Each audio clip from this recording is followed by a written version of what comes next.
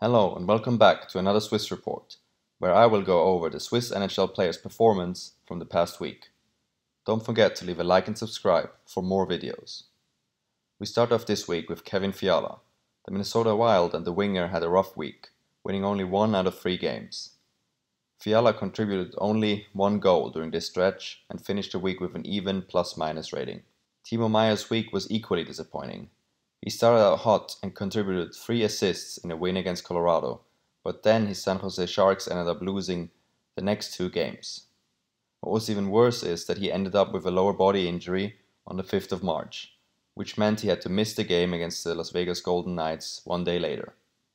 The 24 year old finished the week with four assists and a plus 2 rating. Nino Niederreiter and his Carolina Hurricanes, on the other hand, had a great week. They won all four of their games.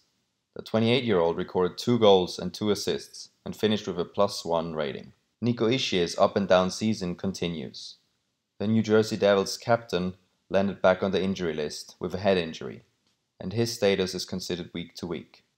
The Nashville Predators with Roman Josi lost three out of their four games.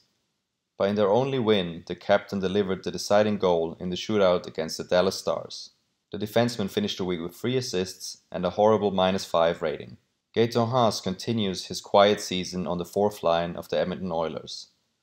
In the Oilers' two losses and one win this past week, he didn't record a single point and finished with a minus 1 rating. In Chicago, the two rookies, Pius Suter and Philipp Kurashev, continued to impress and score. The former ZSC Lions player, Suter, finished the week with one goal and a plus one rating. Here's Philipp Kurashev. Kurashev got the deciding goal in a shootout win against the defending champion, the Tampa Bay Lightning, and finished this week with one goal and a minus two rating. Dean Kukan and Jonas Siegenthaler once again didn't appear in a single game all week. And Luca Sbisa is still out injured. That's it from me. I'll speak to you next week for another Swiss report.